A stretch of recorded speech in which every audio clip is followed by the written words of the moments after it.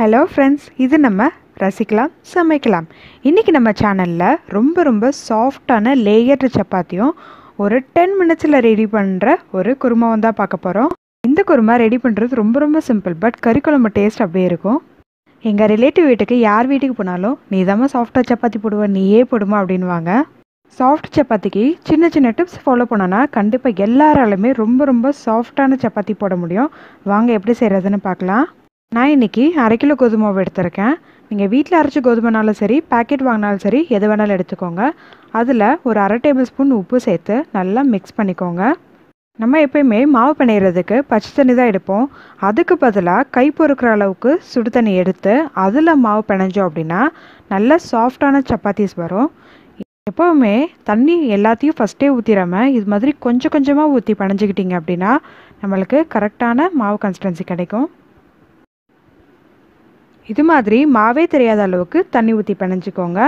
இந்த ஸ்டேஜில் நம்ம ஒரு ரெண்டு டேபிள் ஸ்பூன் அளவுக்கு எண்ணெய் சேர்த்துக்கலாம். அந்த எண்ணெய் மாவோட எல்லா சைடும் மிக்ஸ் ஆகிற மாதிரி உங்களோட உள்ளங்கை வச்சு நல்லா அழுத்தி ஒரு டூ மினிட்ஸ் பிணைஞ்சிக்கோங்க.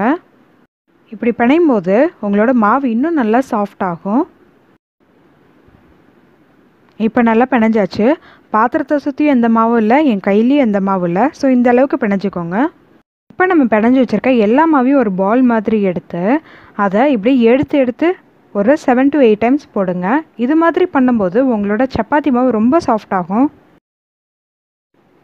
ஸோ மாவு இப்போ எவ்வளோ சாஃப்டாக இருக்குன்றது உங்களுக்கு பார்த்தாலே நல்லாவே தெரியும்.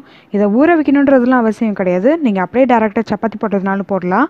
பட் நான் இன்றைக்கி குருமா செய்யணுன்றதுனால இதை கொஞ்சம் நேரம் வச்சுருக்கேன் நான். அடுத்து நம்ம குருமா செய்ய ஸ்டார்ட் பண்ணிடலாம். அதுக்கு நான் இன்றைக்கி ரெண்டு சில் தேங்காவை இது மாதிரி நீள் நீளமாக கட் பண்ணி வச்சுருக்கேன்.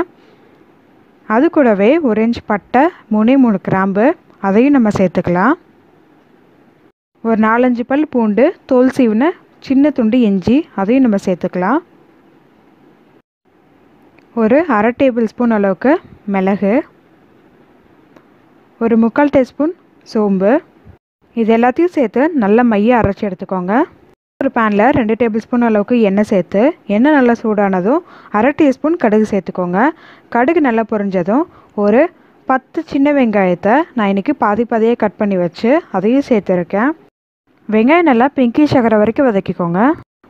வெங்காயம் கொஞ்சம் வதங்கினதும் கொஞ்சமாக கருவேப்பிலை சேர்த்துக்கலாம். அதையும் சேர்த்து கொஞ்சம் நல்லா வதக்கிக்கோங்க. இப்போது வெங்காயம் நல்லா வதங்கிருச்சு. இந்த ஸ்டேஜில் நான் ஒரு ரெண்டு மீடியம் சைஸ் தக்காளியை குட்டி குட்டியாக கட் பண்ணி வச்சுருக்கேன். அதையும் சேர்த்து நல்லா வதக்கிக்கலாம். இந்த தக்காளி வந்து நல்லா சாஃப்டாக வதங்கணும். இந்த குழம்புக்கு தேவையான அளவுக்கு உப்பு சேர்த்துக்கலாம். உப்பு சேர்த்து நல்லா தக்காளி சாஃப்டாகிற அளவுக்கு நல்லா வதக்கிக்கோங்க. இப்போது தக்காளி நல்லா வெந்து வந்துருச்சு. இந்த ஸ்டேஜில் நம்ம அரைச்சி வச்சுருந்த அந்த பேஸ்ட்டை சேர்த்துக்கலாம். அந்த பேஸ்ட்டு வெங்காயம் தக்காளி எல்லாத்தோட நல்லா மிக்ஸ் ஆகிற அளவுக்கு இது மாதிரி நல்லா கலந்து வச்சுக்கோங்க. நல்லா மிக்ஸ் பண்ணதுக்கப்புறம் அரை டேபிள் ஸ்பூன் மிளகாத்தூள் ஒன்றரை டேபிள் ஸ்பூன் அளவுக்கு தனியாத்தூள்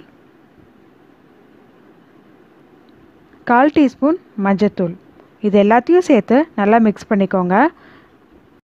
தேங்காய் அரைக்கும் போது நம்ம மிளகு சேர்த்தனால நான் இன்றைக்கி மிளகாத்தூள் கம்மி பண்ணி சேர்த்துருக்கேன். உங்களுக்கு இன்னும் கொஞ்சம் காரம் வேணும்னு நினச்சிங்கன்னா நீங்கள் இன்னும் கொஞ்சம் மிளகாத்தூள் சேர்த்துக்கலாம். பட் இது என்ன கரெக்டாக இருக்கும்?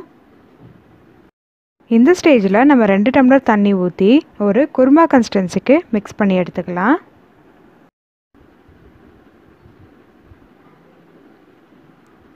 ஸோ இந்த தண்ணி கூட நல்லா மசாலா பொருட்கள்லாம் கலக்கிற அளவுக்கு நல்லா மிக்ஸ் பண்ணி எடுத்துக்கோங்க.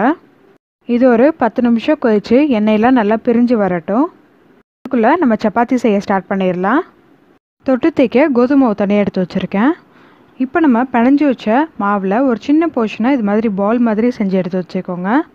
தனியாக எடுத்து வச்சுருக்க கோதுமை மாவில் நம்மளோட உருண்டை எல்லா சைடும் அந்த மாவு படுற மாதிரி இது மாதிரி பரட்டி எடுத்து வச்சுக்கோங்க.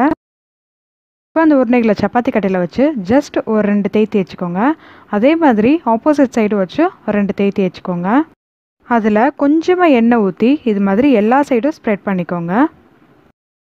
ஸ்ப்ரெட் பண்ணிவிட்டு நம்ம உருட்டி வச்சதை பாதியை மடிக்கணும். திருப்பி இன்னொரு பாதியை மடிக்கணும். இப்போது நம்ம தனியாக கோதுமை மாவு எடுத்து வச்சுருந்ததில் திருப்பியும் நல்லா எல்லா சைடும் படுற மாதிரி கோட் பண்ணி எடுத்துக்கோங்க. இப்போது திருப்பி சப்பாத்தி கட்டையில் வச்சு நல்லா பெருசாக இது மாதிரி தேய்ச்சி எடுத்துக்கோங்க. இது மாதிரி மடித்து நீங்கள் தேய்க்கும் போது சப்பாத்தி உங்களுக்கு நல்ல லேயர் லேயராக கிடைக்கும். சாப்பிட்றதுக்கும் நல்லாயிருக்கும் இது ரொம்ப ஈஸியான வேலையும் கூட. கண்டிப்பாக இது மாதிரி ட்ரை பண்ணுங்கள் இப்போ நம்ம தேய்ச்சி வச்சுருந்த சப்பாத்தியை ஒரு தோசைக்கல்லில் போட்டு ஒரு டூ மினிட்ஸ் ஆனதும் லைட்டாக புஃப்னு உப்பி வரும். ஸோ அப்போ திருப்பி போட்டுக்கோங்க. நம்ம இன்னொரு சைடு திருப்பி போட்டதுமே நம்மளோட சப்பாத்தி நல்ல புஃப்னு உப்பி வரும். ஸோ உங்களுக்கு தெரியுதா இப்போது ஒரு டூ மினிட்ஸ் ஆனதுமே நம்ம பின்னாடி திருப்பி போட்டுக்கலாம். இப்போது கொஞ்சமாக எண்ணெய் எடுத்து அந்த சப்பாத்தியில் சுற்றி இப்படி ஊற்றிக்கோங்க மீதி இருக்க கரண்டியில் இருக்க எண்ணெயை சும்மா ஜஸ்ட்டு சப்பாத்தி மேலே தேய்ச்சிக்கோங்க. நிறைய எண்ணெய் ஊற்றணுன்ற அவசியம் கிடையாது. இப்போ திருப்பி போட்டு அதே மாதிரி ஜஸ்ட் அந்த சப்பாத்தி மேலே மட்டும் லைட்டாக எண்ணெய் தேய்ச்சிக்கோங்க. இப்போது ரெண்டு சைடுமே சப்பாத்தி வந்ததும் நம்ம ஒரு ஹாட் பாக்ஸில் எடுத்து வச்சுக்கலாம். பார்த்து கருகிராமல் பார்த்துக்கோங்க. நம்மளோட குருமாவும் இங்கே ரெடி ஆயிடுச்சு நல்லா எண்ணெயெல்லாம் பிரிஞ்சு வந்திருக்கு. மசாலா வடையெல்லாம் போயிடுச்சு குருமாவும் நல்லா திக்காயிருச்சு இந்த ஸ்டேஜில் கொஞ்சம் கொத்தமல்லி இலை மட்டும் தூவி நம்ம இறக்கணுன்னா நம்மளோட சூப்பரான குருமா ரெடி இப்போ நம்மளோட சப்பாத்தி எவ்வளோ சாஃப்டாக இருக்குன்றதை காமிக்கிறேன். பார்த்தீங்களா? ஜஸ்ட் ரெண்டே விரலில் தான் பிக்கிறேன். ரொம்ப சாஃப்ட் அப்படியே பூ போல் பிரியுது. நம்மளோட சப்பாத்தியும் நல்லா லேயர் லேயராகவும் வந்திருக்கு.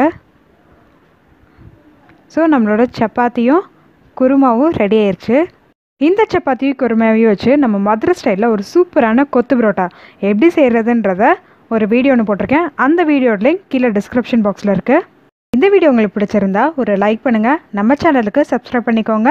அப்படியே உங்கள் வேல்யூபிள் கமெண்ட்ஸையும் போஸ்ட் பண்ணுங்கள் ரசித்து சமைங்க ஆரோக்கியமாக வாழுங்க. தேங்க்யூ ஃபார் வாட்சிங்